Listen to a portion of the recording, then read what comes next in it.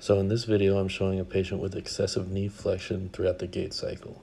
The phases that are affected by this deviation are initial contact, loading response, mid stance, terminal stance, pre-swing, and terminal swing, all because these either require knee extension, five to, five to zero degrees of knee extension, or um, plantar flexion, which this patient patient also doesn't have.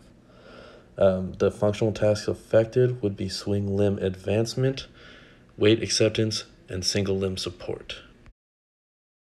The task accomplishments that are affected because of this excessive knee flexion are limb advancement, stability, and shock absorption. Uh, the causes of this deviation of gait could be lack of knee extension, uh, passive range of motion, some knee pain, and insufficient quadriceps strength. Uh, this view is from the frontal angle, and the previous was from the sagittal.